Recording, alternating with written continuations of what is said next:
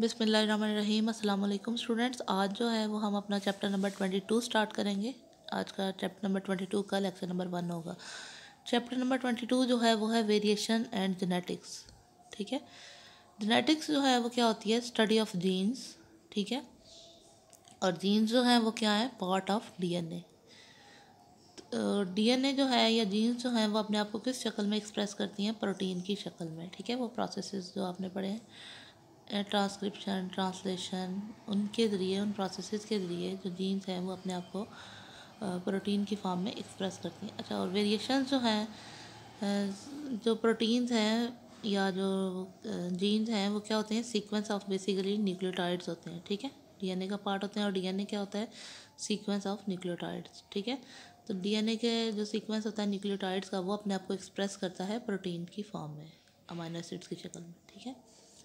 और वेरिएशन जो है वो आपको पता है उसका मतलब होता है चेंजेस तो जीन्स में या जेनेटिक स्टडी में आने वाली जो वेरिएशन हैं वो, उनको हम इस चैप्टर में स्टडी करेंगे. वेरिएशन जो हैं वो आती किन फॉर्म्स किन वजह से हैं?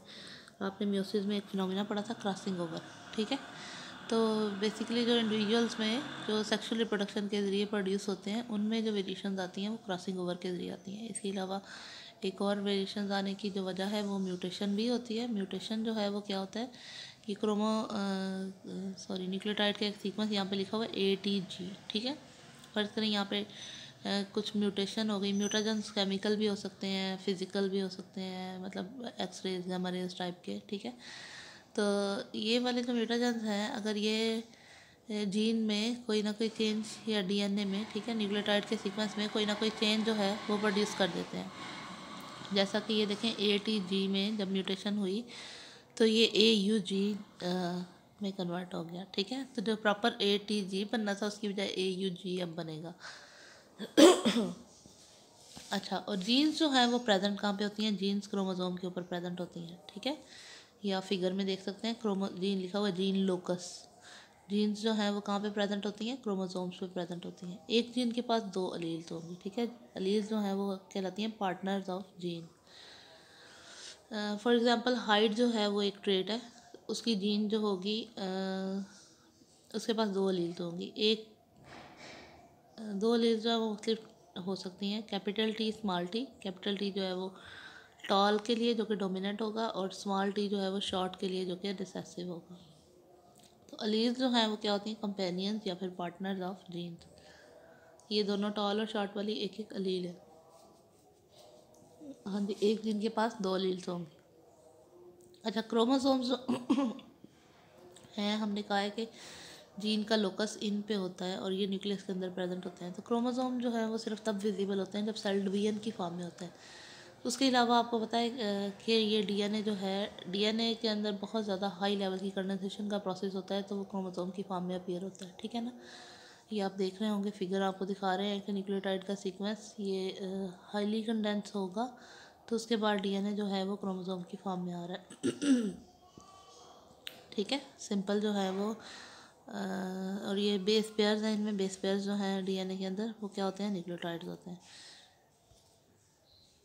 हाँ जी तो अच्छा। अब क्या है सीक्वेंस ऑफ़ न्यूक्लियोटाइड या फिर all genes present in an individual तो वो जो है, वो क्या कहलाती है जीनोटाइप कहलाती है। जीनोटाइप जो है, वो क्या होता है actual number of genes present in an species individual जो भी है, ठीक है? एक्चुअल जीन्स जो है genetic makeup actual genetic makeup of an individual is known as genotype ठीक है? And the expression of genes is known as phenotype तो ये जीनोटाइप और फिनोटाइप का डिफरेंस है। जीनोटाइप जो है वो है एक्चुअल जेनेटिक मेकअप और फिनोटाइप जो है वो क्या है? एक्सप्रेशन उसका। जैसा कि कैपिटल टी कैपिटल टी और स्मॉल टी स्मॉल टी अगर लिखा होगा तो ये इसका जीनोटाइप है।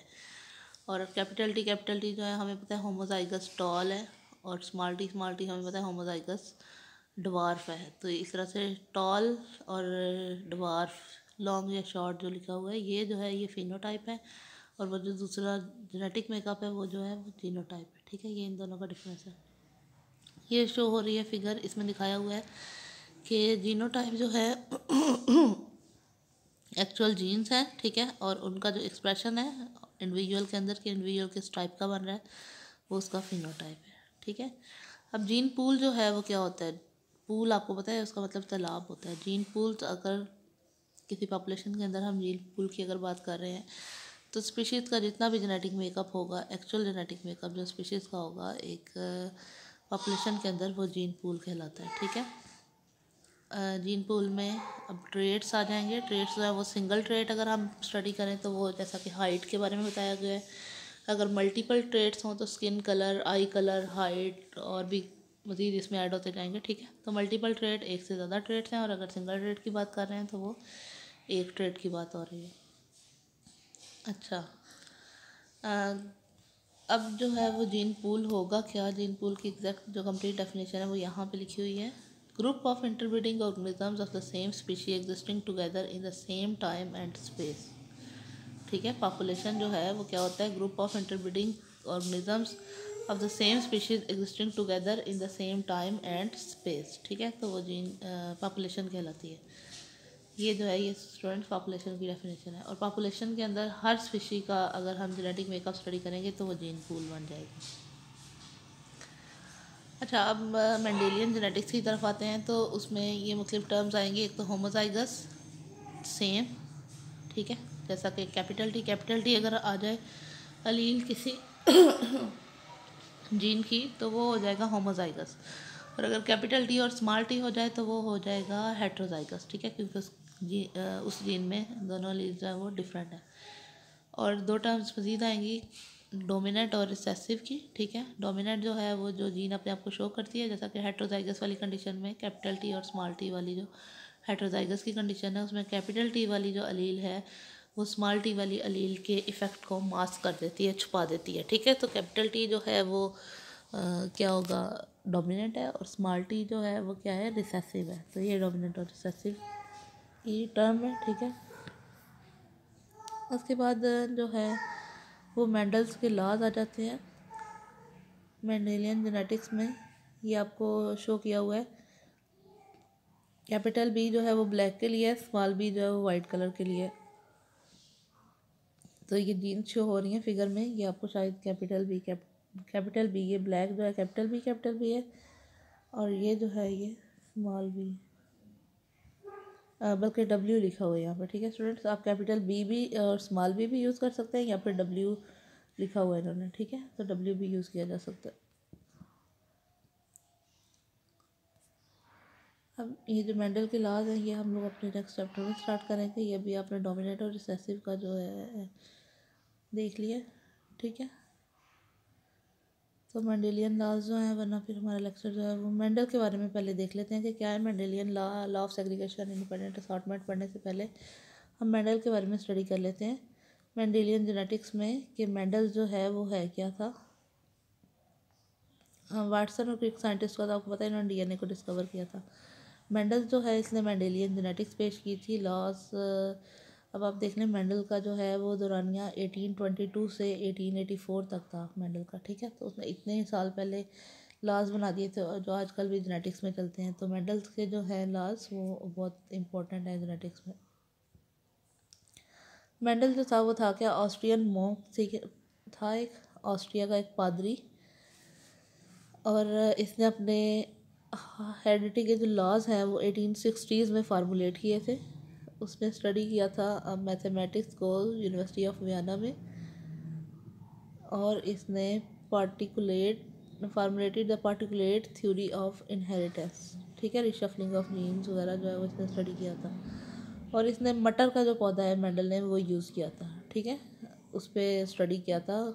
उस पर इसने क्यों स्टडी किया था? क्योंकि ये जिस जहाँ पे अपनी तबलीग वगैरह करता था, जहाँ पे ये पादरी था, वहाँ पे उस वहाँ गार्डन वगैरह में मटर का पौधा जो है वो लगाना आसान था, वहाँ पे लगा हुआ था, ठीक है? मटर के पौधे पे के ट्रेड्स उसने स्टडी करते हुए लॉ ऑफ़ इंडिपेंडेंट असॉटमेंट और लॉ ऑफ़ सेग्रीगेशन मेंडल ने पेश किया था।